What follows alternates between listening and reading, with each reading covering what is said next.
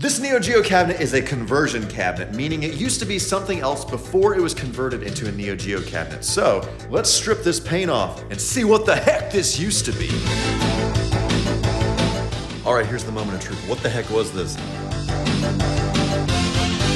Defender is what this used to be. Unfortunately, both sides of this machine are very damaged and beat up, so I am gonna be stripping all this off and putting a laminate on here, but very cool to see what this machine once was.